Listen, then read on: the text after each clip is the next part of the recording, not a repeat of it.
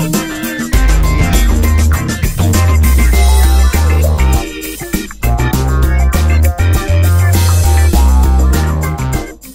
été bien accueillie quand je suis arrivée dans la ville d'Orly et cela m'a donné envie de donner un peu de moi dans l'évolution de la ville. C'est ça qui m'a poussée à être candidate.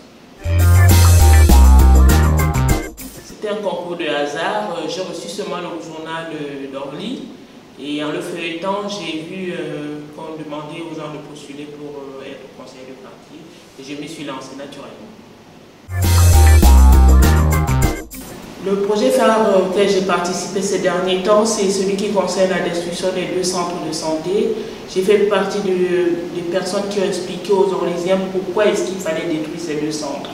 Car la santé des Orlésiens me tient à Honnêtement, j'aimerais vous dire quand on aime, on ne compte pas.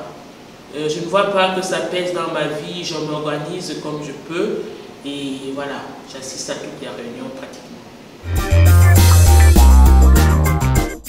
Oui, c'est une bonne chose parce que nous nous sentons, euh, nous sommes impliqués dans, dans tout ce qui se passe dans la ville. On nous pose des questions, nos avis comptent et nous avons des sujets qu'on nous donne à développer tout le temps. Donc franchement, il n'y a rien à dire de ce côté-là. Nous ne perdons pas notre temps.